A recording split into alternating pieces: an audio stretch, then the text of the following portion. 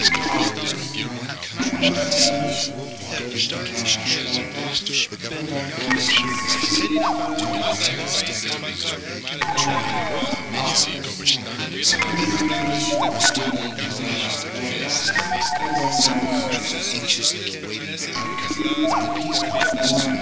A response is expected from Pakistani diplomats within months.